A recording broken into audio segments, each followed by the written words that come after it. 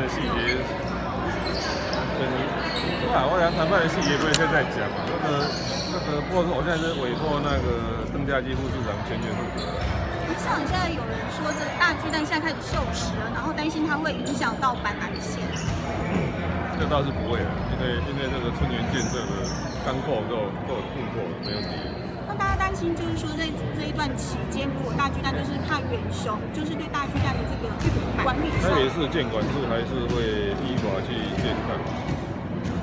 市长，这个大巨蛋的合一解约啊，人家说可能要到三到五年的时间了。那这个巨蛋已经锈蚀的情况之下，你觉得这层楼还可以撑这么久吗？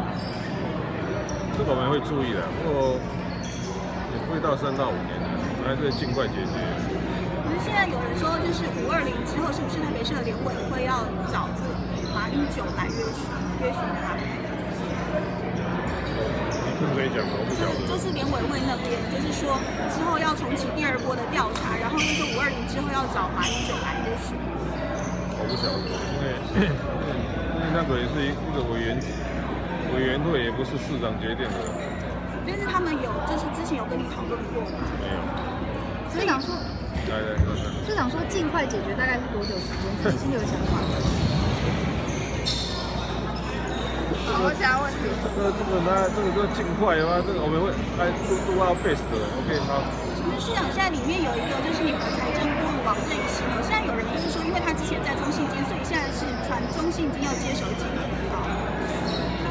那跟那个没有关系吧？哦，那只是那只是市政的顾问，我们其实他跟这个没有，那只是当我们的顾问，因为有时候在跟人家谈判里面，这种蛮复杂的案子，问一下一些。业界的经验，所以，所以，所以他其实他跟这个，但是他，但是我们在跟远雄谈判的时候，他，他，问一下他意见而已。所以有。